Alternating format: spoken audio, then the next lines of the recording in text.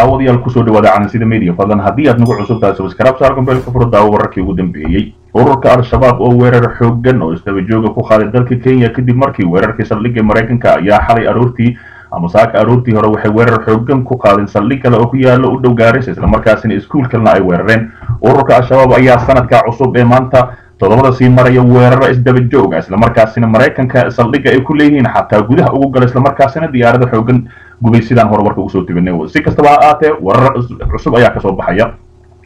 War ka soo baxay ururka al-shabaab boggooda rasmiga ayaa lagu sheegay in dagaalyahanada kooxda ka tirsan ururka al-shabaab ay xalay weerar ku qaadeen. Saldhig ay ku leeyihiin ciidamada booliiska dalka kenya ee ku yaalla deegaanka sareedo bilcaan oo hoos taga magaalada gaarisa ee dalkaasi al-shabaab ayaa sheegay ayaa sheegatay in weerarkaasi ay ku dileen laba askari oo ka tirsan ciidamada booliiska dalka kenya. Sidoo kalena ay ku ay ku gubeen saldhiggii iyo agabyadii yaalay ee leedahay shirkadda isgaarsiinta ee safaricom. Anteenooyin halkaas yaalla ayay sidoo kale gubeen maadaama arrintaasi ay safaricom shirkadeedii ay ku arkeen ama anteenooyinkoodii islamarkaasina halkaasi ay aada u baabiyeen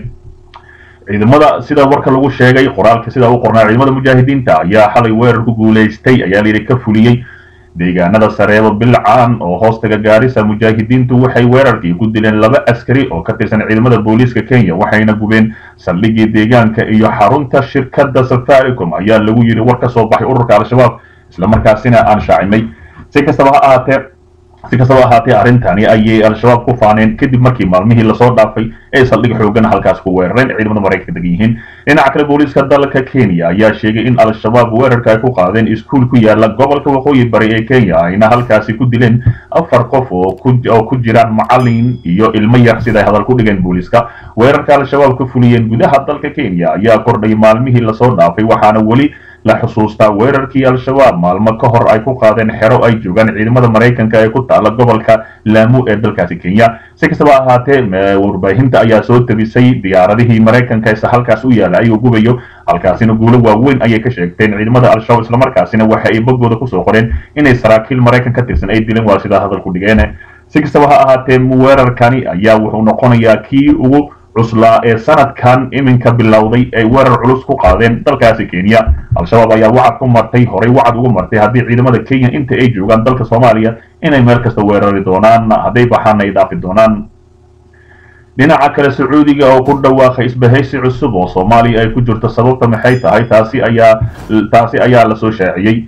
sacuudi carabiya ayaa ku dhawaaqday dhismaha golo kooban oo sideed wadan oo carabi iyo afrikaan ah ay xaduud badeed la wadaagaan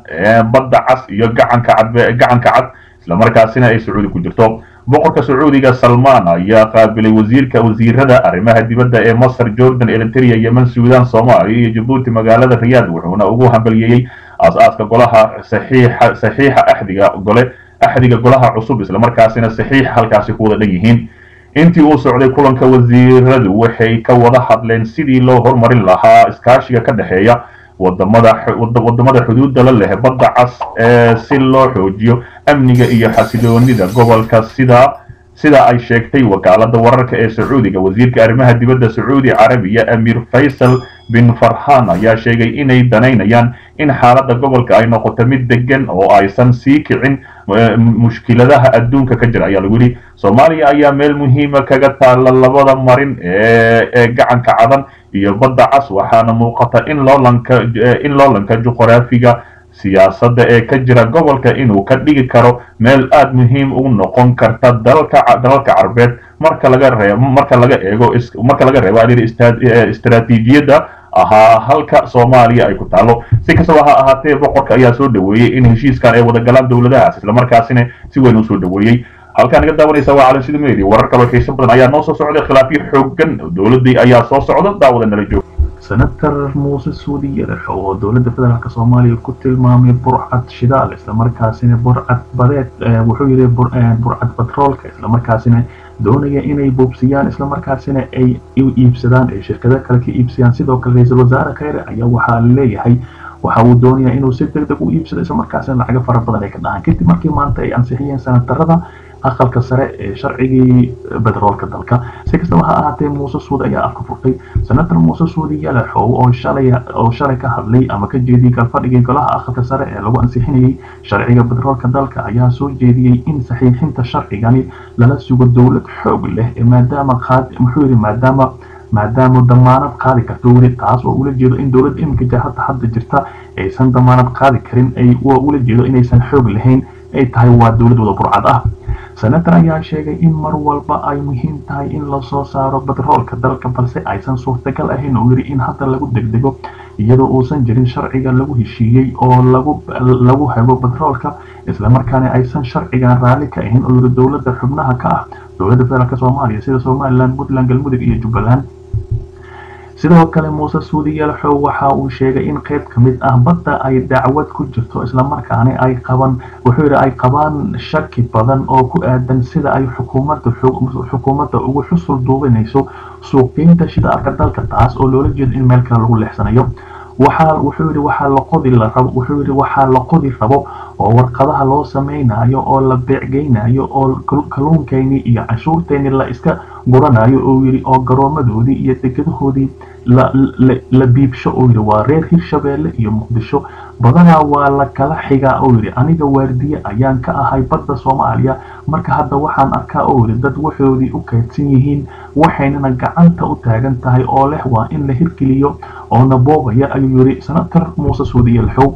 senatarka oo hadalkiisa sii watay ayaa golaha ka hor yidhi sharciga waxaa laga rabaa in warqadda laga soo saxiixo golaha shacabka laga saxiixo golaha aqalka sare kadibna loo geeyo madaxweynaha ee markuu saxiixo ra'iisul wasaaruhu uu u geeyo shirkado lacag keliya looga rabo taas oo macnaheeda oo ku sheegay markii uu madaxweynaha saxiixo ra'iisul wasaaraha ayaa qaadaya islamarkaasina la geynayo shirkado lacag laga doonayo. Meeshaasina ayaa la rabaa in doorasho lagu soo galo malaayiin dollar markii la soo qaado dowladda gacanta u soo gasho in lagu faraqo laaluush iyo xildhibaanada dib u doorashada dambe. Si kastaba ahaatee ugu dambeyntii senator muuse suudi yalaxow ayaa soo jeediyey in heshiiska haddii la galayo lala galo uu yidhi dowlad damaanad qaadi karto oo aan ku xadgudbaynin ayuu yidhi